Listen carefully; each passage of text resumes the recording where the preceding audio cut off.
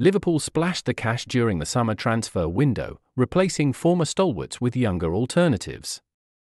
Related articles read more related. Articles former Liverpool star John Barnes believes that Jurgen Klopp is showing glimpses of Sir Alex Ferguson in his style. Of recruitment. The German boss rebuilt his entire midfield during the summer transfer window, and his new recruits have hit the ground running at Anfield. The Reds have made a very strong start to the season and quickly asserted themselves as serious title contenders. They have won 13 of their opening 20 Premier League games and sit top of the table, despite showing clear signs. That they will improve further, the sprinkling of fresh faces in the dressing room has taken Liverpool to another level. With former stalwarts being seamlessly replaced. The likes of Jordan Henderson, Fabinho, James Milner, and Alex Oxlade, Chamberlain were all allowed to leave the Reds over the summer being replaced by Alexis Mac Allister, Dominic Szoboszlai, Ryan Gravenberch, and Wataru Endo. The quartet have all impressed since joining the Merseyside outfit.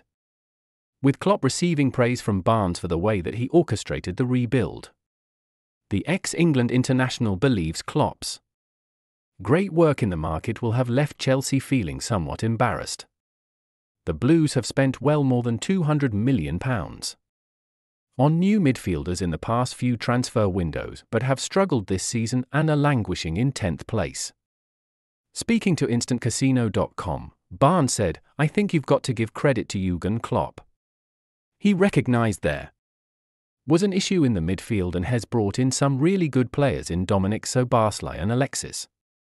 Mac Allister then also integrated Curtis Jones back in there has recognized the weakness in his team and has gone out and done something about it. Sir Alex Ferguson was really good at transitioning his team, bringing out three or four players and replacing them well. And I think that's exactly what Klopp is doing now. I think Mac Allister at £35 million is a fantastic buy. Especially when you look at Chelsea, who have spent £100 million on both Enzo Fernandez and Moises Caicedo there's probably not much between those three as players.